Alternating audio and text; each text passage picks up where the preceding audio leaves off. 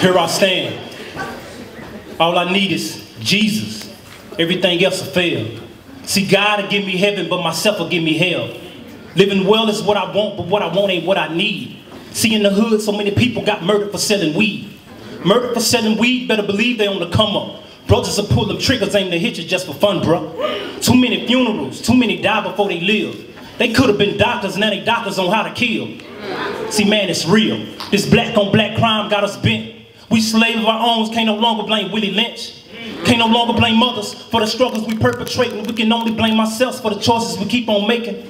The commandments that we break and are definitely bona fide. Every time that we sin, we become enemies of God. Mm. Sin feels so good, I'll be the first one to admit it. But I know this kind of life will keep me trapped once I'm addicted.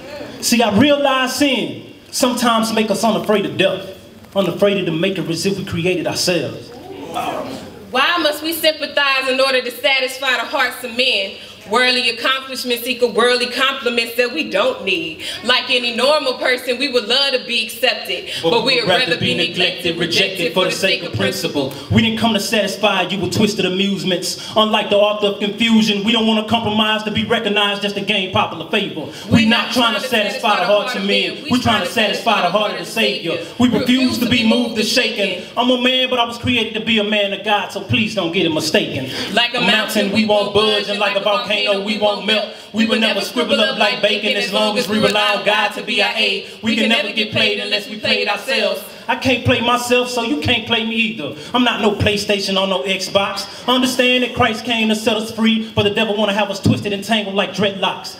Today we come to speak the truth. Truth is, you get all suited up in your suit and tie, tied down by your pride and sophisticated bribe. You're mm. doing it for the Lord. But, but there's, there's no loyalty in your words.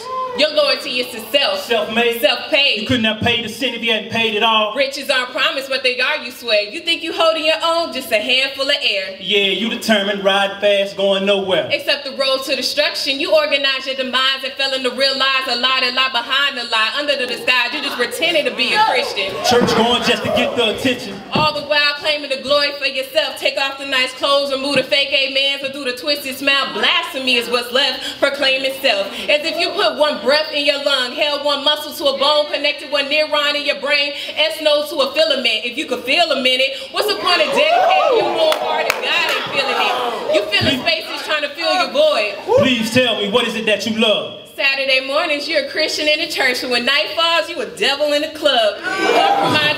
Relationship, with Jesus. For man's sake, see you loving the way the sin tastes. Now you enjoying the company of kicking it with the enemy's fan base. See the devil has come down with great wrath, making the whole earth his personal landscape. With the majority of the world in his hands, his purpose and plans is to flatten you down like a pancake and devour you with ease, making you so affiliated with this world that your prayers are only heard by Satan when you've been down on your knees. Please, somebody tell me, who created this madness? There must be a witness to this mental sickness. Who created this dark passion, fashion and sin? Wearing it like a fashion. See, sometimes I look at sin like a lady friend or a woman that's so attractive. My mind is backwards. Sideways like cartwheels. I'm divided like rivers. I pray I stay in the Lord's will. My heart's filled with a heaven and hell. Sometimes I'm tripping. How can I turn this hell into a heaven? While I'm still living. See, we, we naturally, naturally play to the negative side of who we are. Addicted to sin, trapped in this web we in, like strings strapped on a guitar. Lord, please help us. Is it God that we worship when we worship, or have our worship itself become a God? Is it Christ the one we see up in the temples, up in the windows, or just symbols of the devil himself in disguise?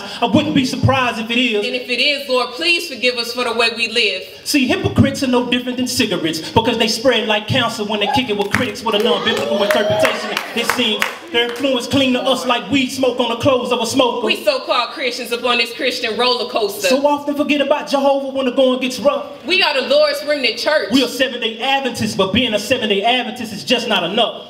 Lord, Lord we, we, need you now because self we cannot trust. So we thrust through this world like a jet in the sky. It's important to understand that half of us are dying to live and the other half is living to die.